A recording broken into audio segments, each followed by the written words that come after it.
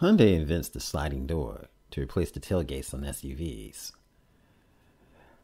If you can remember the sliding door, I can remember back in the day when the Impala had a, had a station wagon, and the station wagon door would slide into the bottom instead of the top, like this one. It slid into the bottom where the spare tire would be, and the door would just fold right in there. It would just be electric. It just went down, and it was electrically controlled.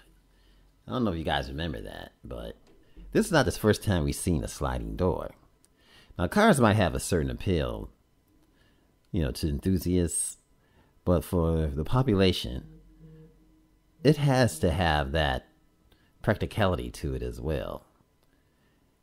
And in this case, for the user experience, Hyundai has come out with this beautiful, beautiful Ioniq 5, and it is just amazing. Well, not only the infotainment system and everything else is nice and complex, but there's another piece. Traditional crossovers have the top hinge tailgate, which creates a wide aperture, but can often be a cause for error when backed into a parking space too close to a wall or another car. Now, Hyundai has fixed this and they went back to the old school. Like I said, the old school of the Impalas. Instead of making the sliding door slide into the bottom, they made it slid into the top. And that way you get to keep the spare tire and everything underneath the trunk. But take a look at this picture. It is just amazing. Now, this has been uncovered by CarBuzz, and there have been patent documents proving this from USPTO, United States uh, Patent and Trademark Office. And they approved it last week.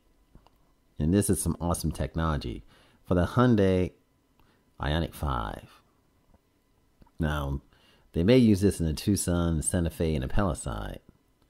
Instead of hinging and swinging upwards, the tailgate is going to mimic the sliding door of a minivan and slide atop of the roof of the crossover, which is just straight up amazing, folks. This is this is really nice.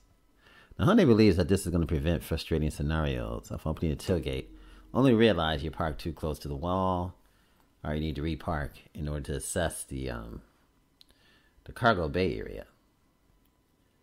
Now, in the patent documentation, Hyundai proposed various techniques for achieving the final goal.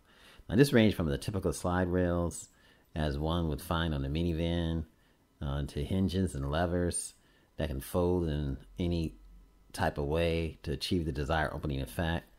Guardrails and supports could either be located along the um the edges, you know, where you put the um where you put the racks and stuff at. It could be located near there, or essentially depending on the, upon the design requirements.